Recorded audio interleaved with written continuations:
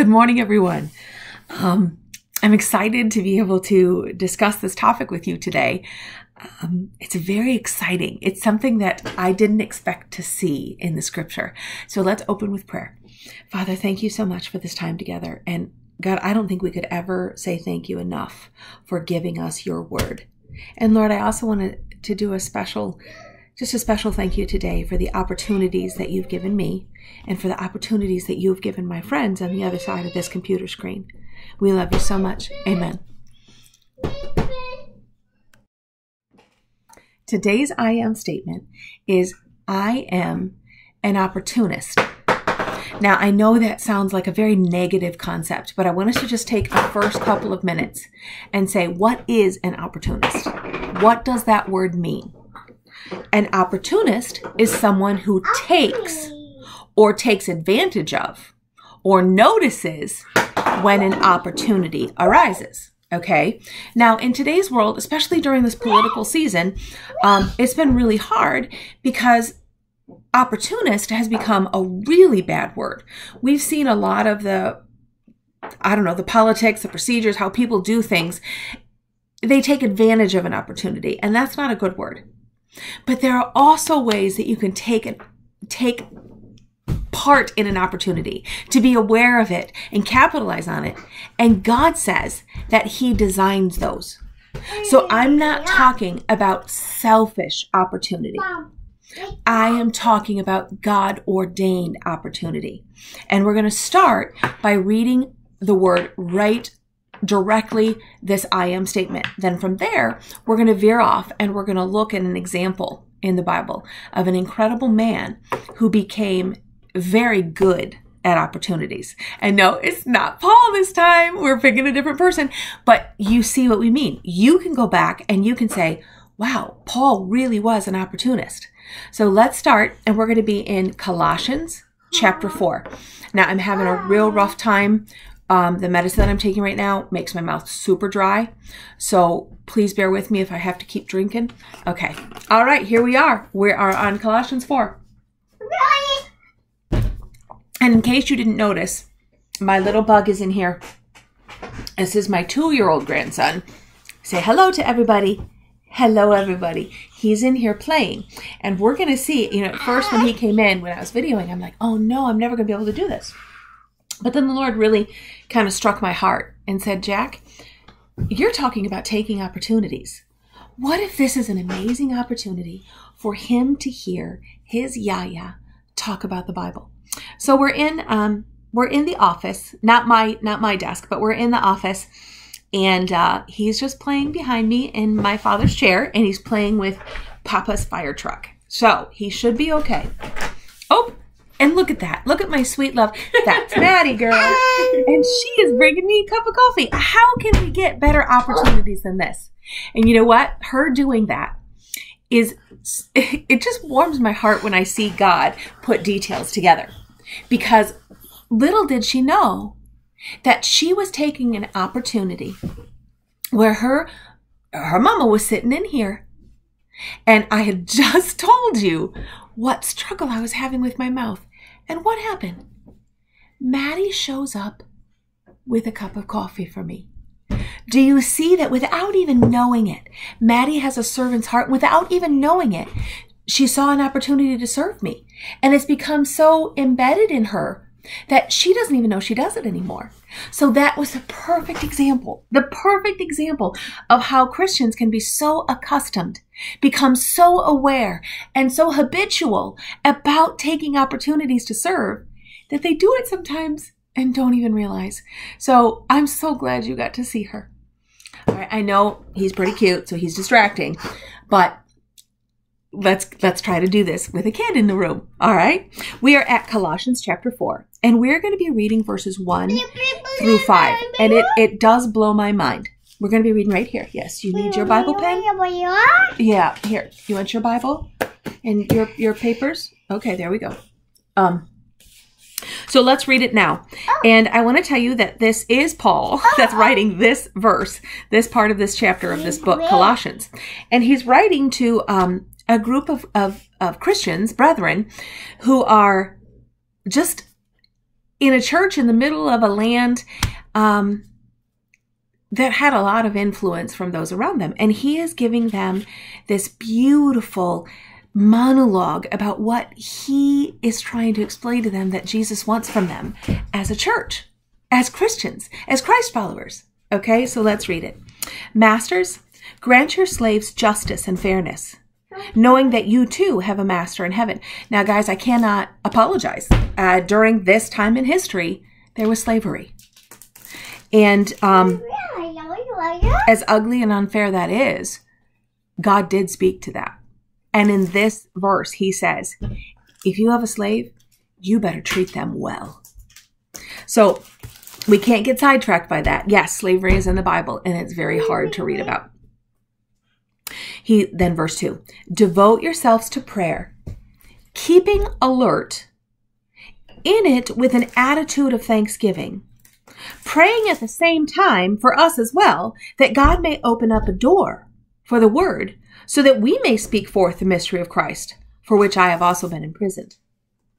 Conduct yourselves with wisdom toward outsiders, making the most of the opportunity. Let your speech always be with grace, seasoned as it were with salt, so that you may know how you should respond to each person. Okay. Did you see all did you see and hear all of those beautiful things. Now, Paul tells us right here, hey, guys, I know you're focusing on your behavior, but could you also focus on prayer for others? So in these, in these six verses, there is just an overwhelming amount of instruction. And so we're going to look at these and we're going to focus obviously on, on verse five. But before we really hone in on verse five, I want you to take a minute and I want you to just kind of tick off the list of what Paul is saying to the Christians of how they should live. And notice where Paul is. What Paul is saying he has experienced. And he has experienced imprisonment. And he is still giving these words.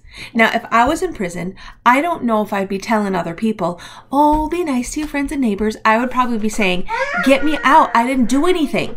Get me out. I'm innocent. But Paul does not do that. Here we go.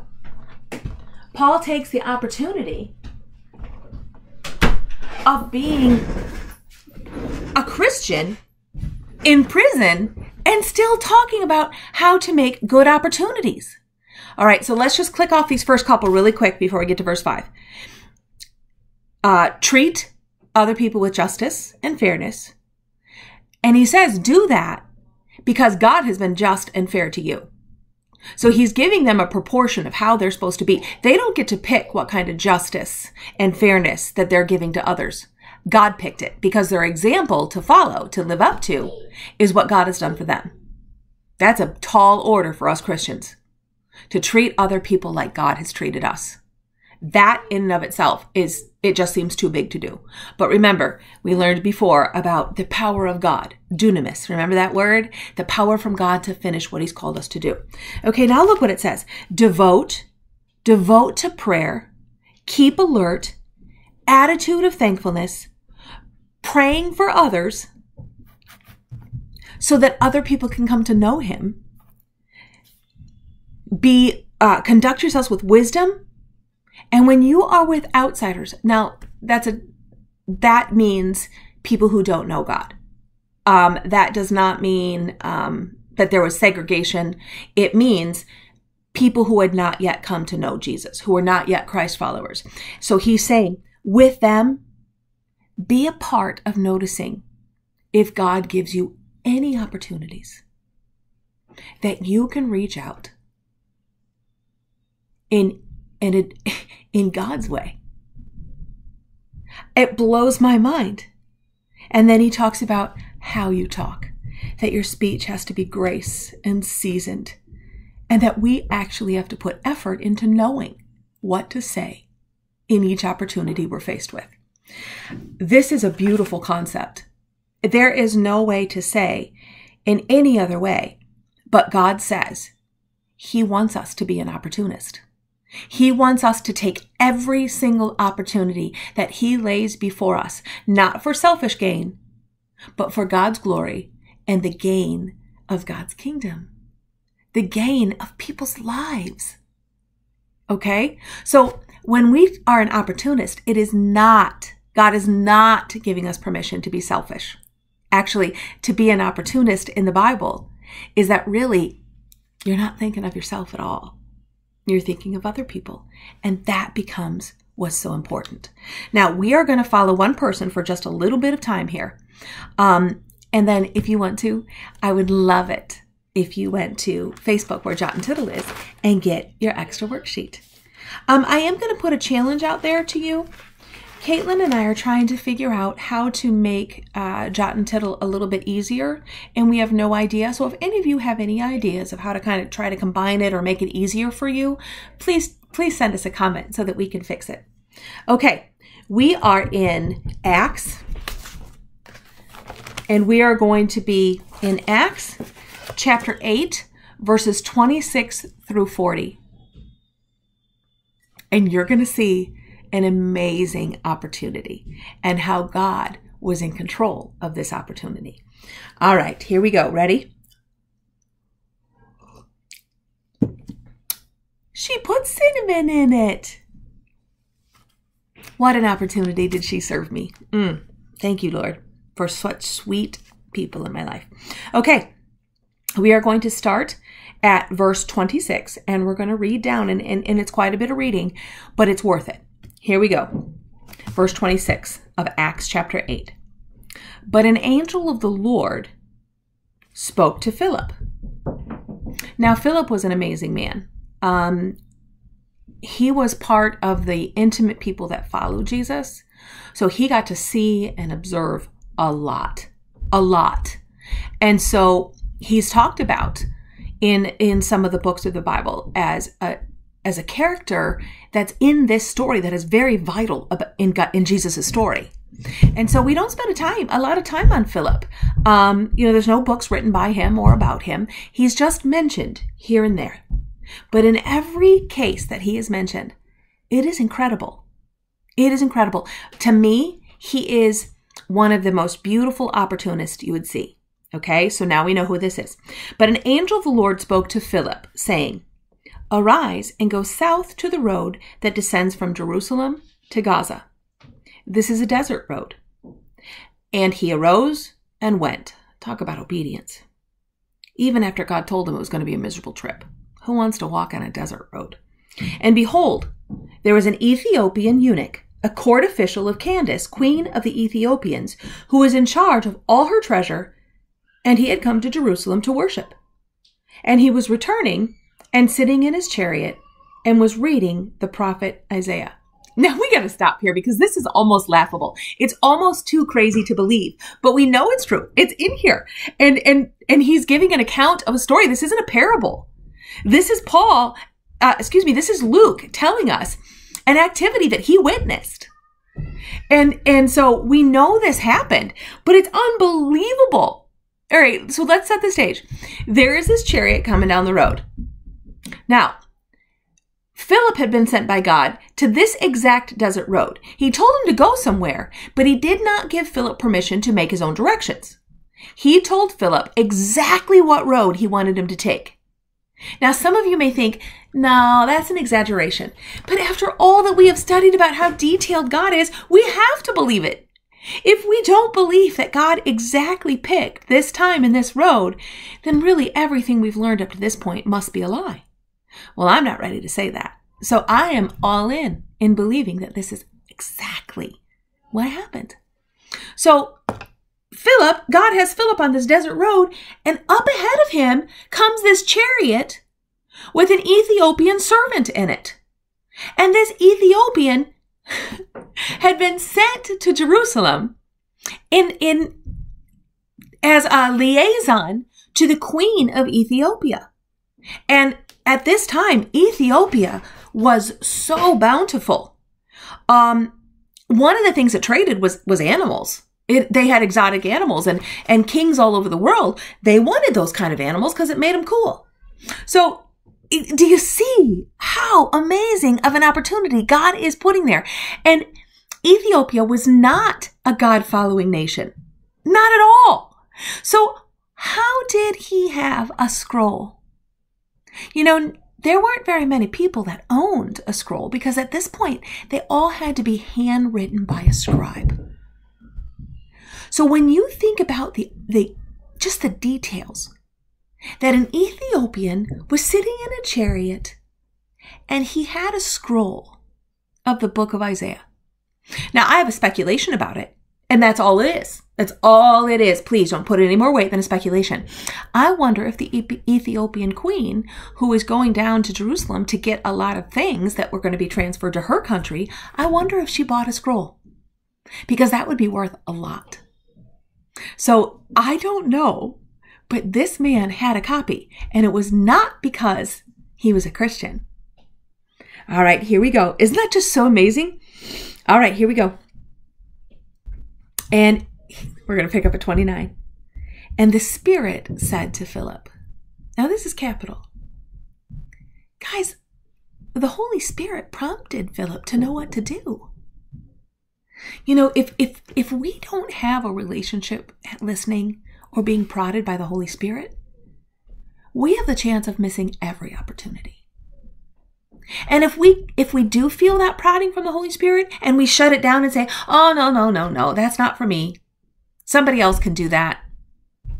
Then we also miss God's amazing opportunities that he wants to use you and me to do glorious things for him.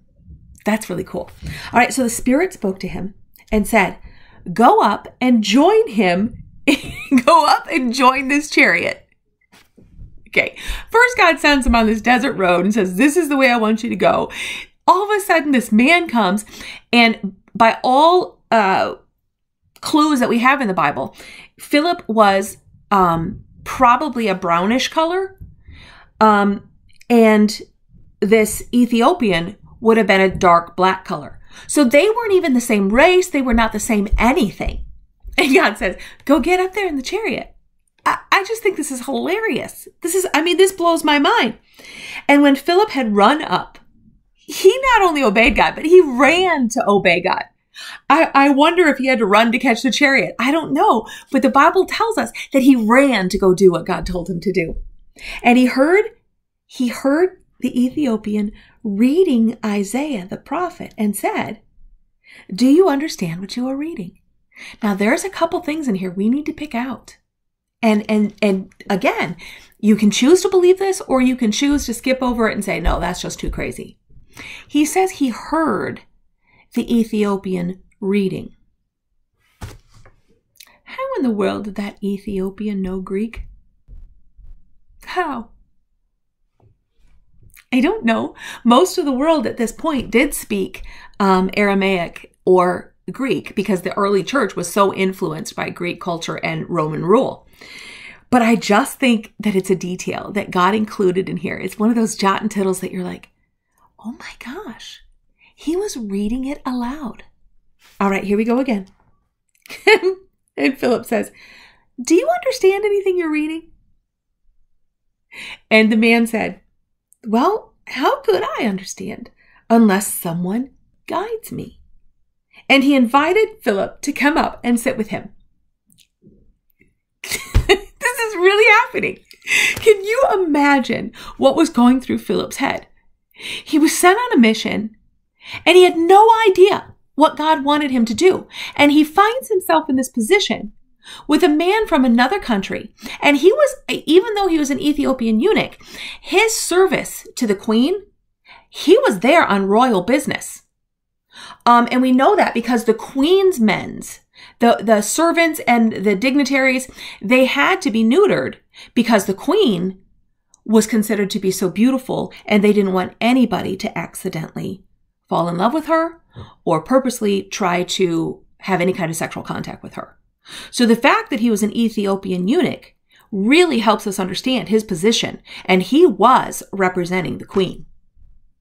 And so here he is, and he says back, he says back to Philip, How am I supposed to understand unless I'm taught?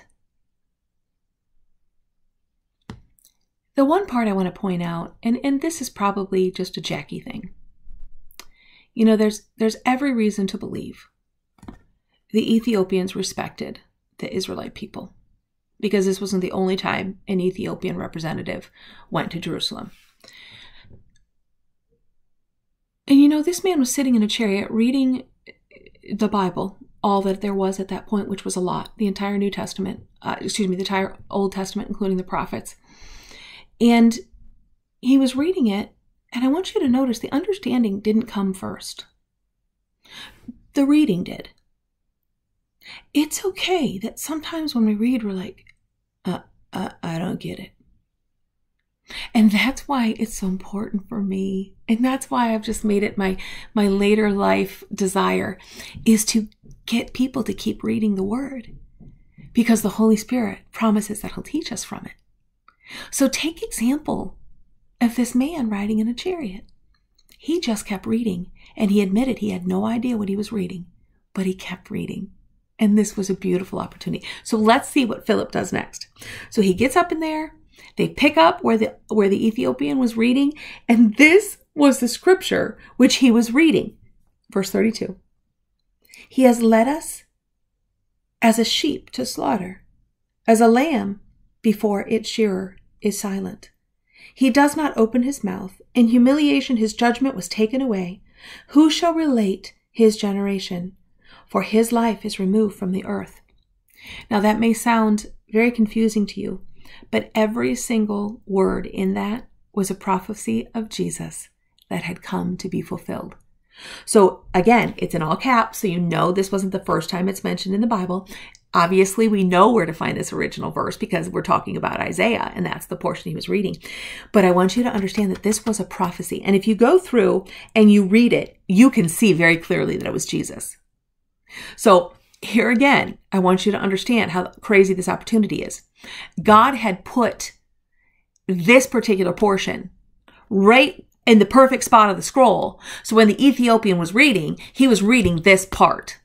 Okay. Do you understand that when God opens an opportunity, he opens an opportunity? Let's pick it up at verse 34.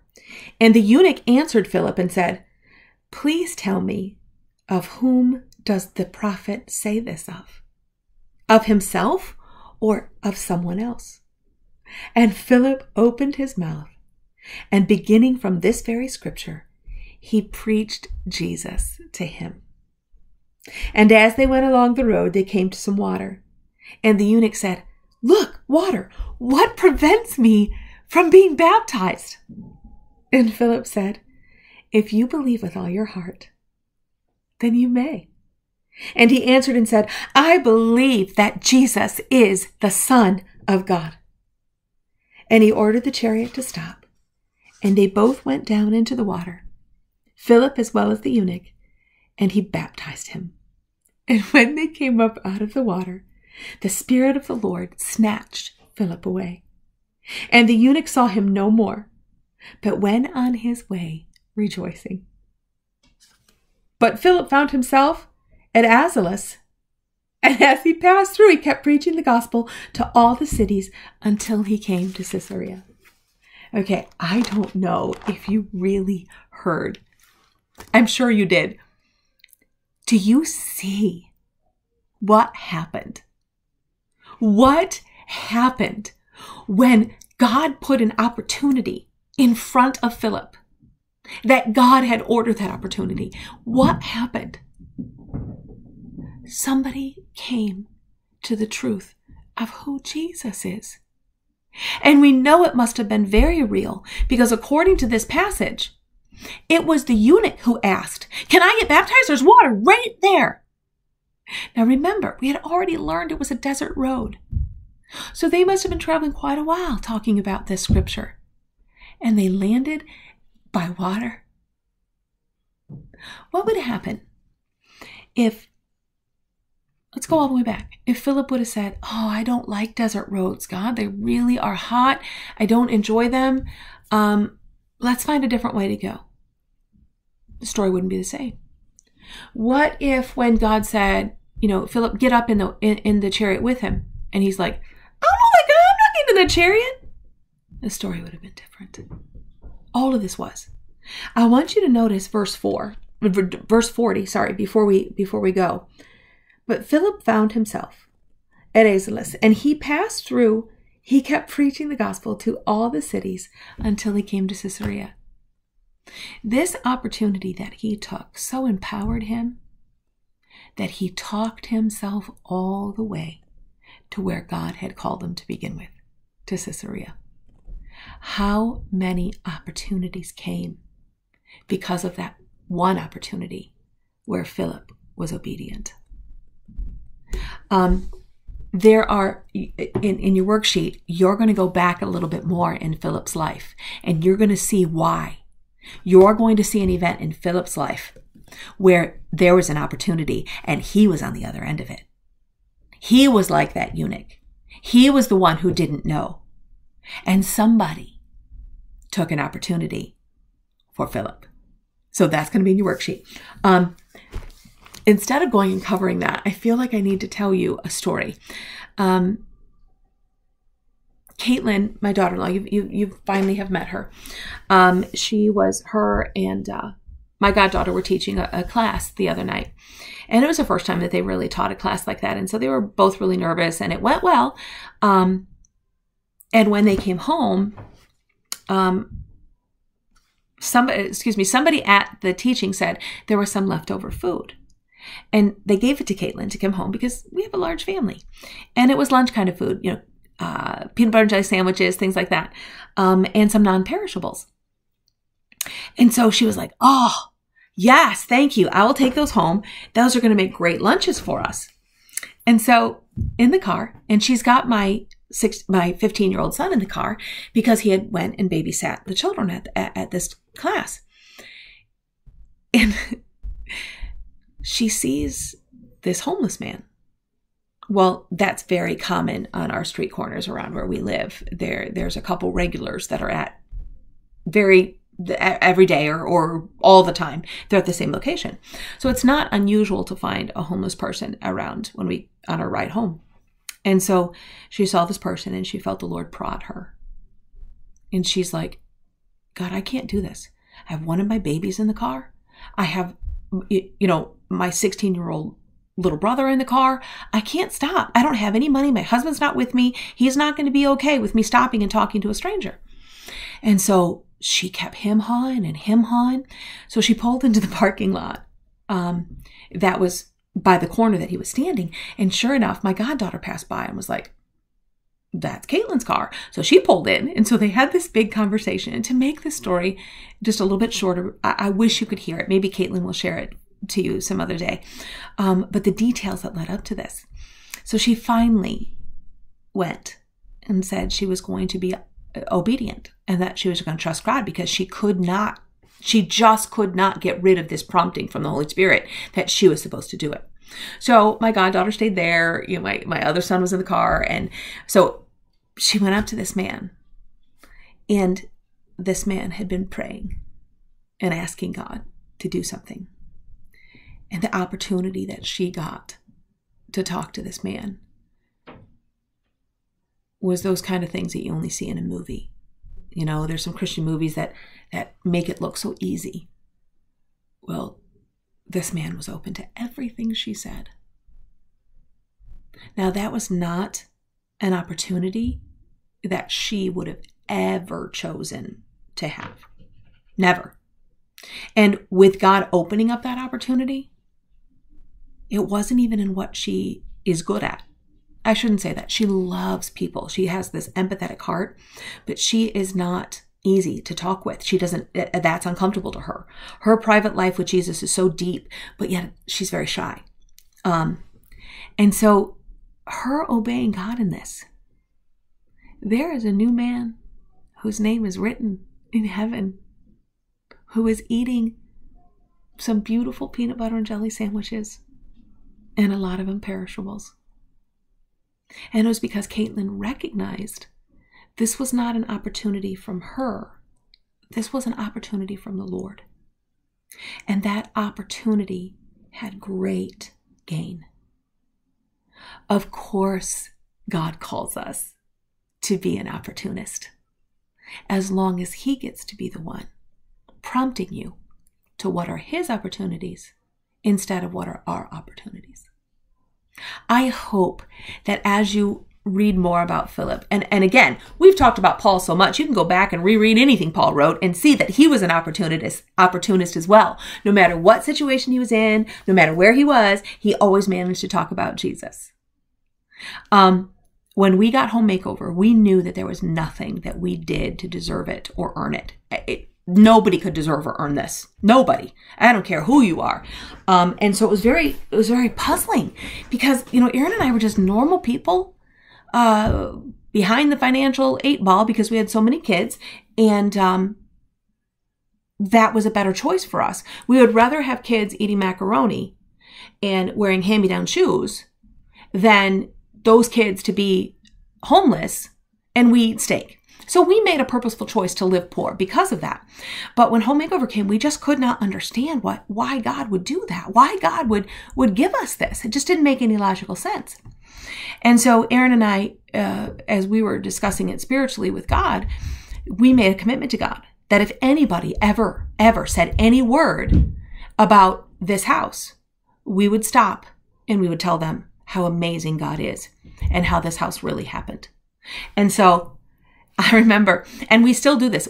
This is going to be year, I think it's 13. I think this is year 13 um, that we've had this house. And that's nuts. That's nuts. And so people still stop us and ask us.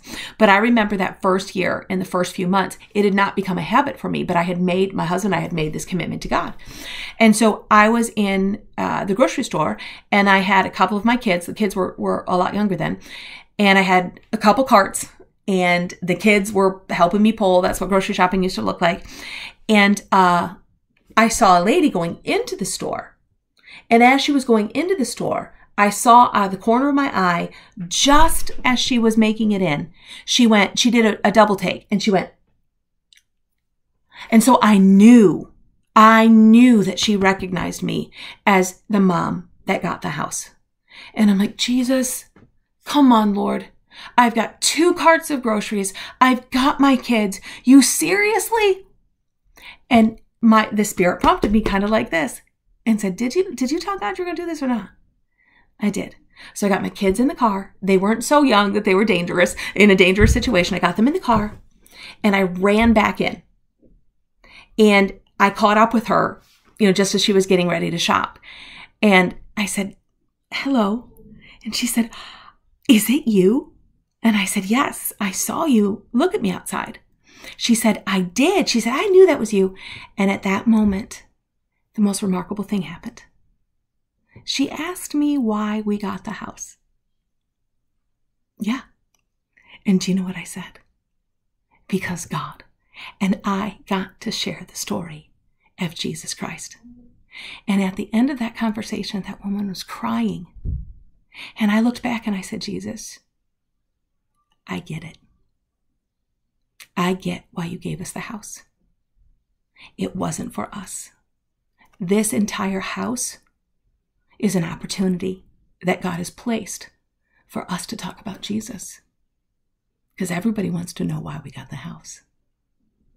So I want you to take note. You saw Maddie today serve me, took an opportunity without even realizing it. You heard about Philip and the crazy opportunity. You heard what Paul said directly, uh, a, a message from God saying, you are to take every opportunity. So please be brave. I know it sounds so scary, but be brave and be an opportunist. All right, guys, I love you. I'll see you tomorrow.